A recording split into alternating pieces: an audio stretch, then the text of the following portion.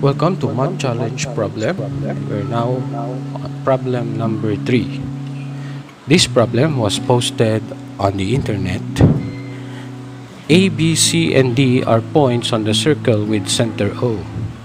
Angle ABO to angle ODA equals 2 to 1. Find an expression for y in terms of x. Before we give the answer, please do not forget to subscribe for more math challenge problems and math contest drills for Filipino kids videos. Thanks. Okay, let us solve this problem. Again, we have a circle centered at O with an inscribed quadrilateral ABCD. The ratio angle ABO to angle ODA is 2 to 1. We are asked to find an expression for y in terms of x.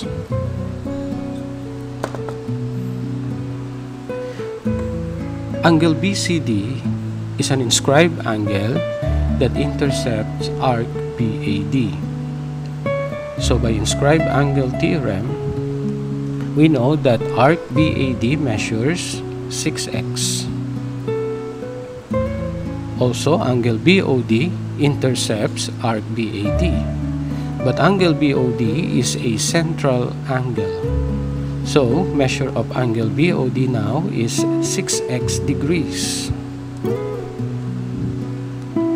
Notice that quadrilateral ABCD is cyclic, where angle BCD and angle BAD are opposite angles.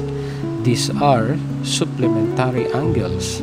So, from cyclic quadrilaterals, we know that measure of angle BAD is equal to 180 minus 3x. We are given the ratio angle ABO to angle ODA, which is 2 to 1. The measure of angle ODA is y. So if the measure is 2 to 1, then measure of angle ABO equals 2y. Now, let us concentrate on quadrilateral ABOD. We know that the sum of the angles interior to a quadrilateral is 360 degrees. Let us add the angles. So that is measure of angle BAD plus measure of angle ABO plus measure of angle BOD plus measure of angle ODA equals 360 degrees. Let us substitute the values. Angle BAD is 180 minus 3x. Angle ABO is 2y. Angle BOD is 6x. And angle ODA equals y. So this sum up to 360 degrees.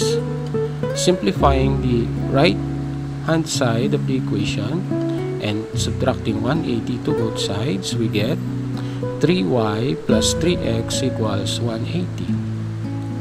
Dividing all terms of this equation by 3, we get y plus x equals 60. So therefore, the required expression y is equal to 60 minus x. Please subscribe. Thank you.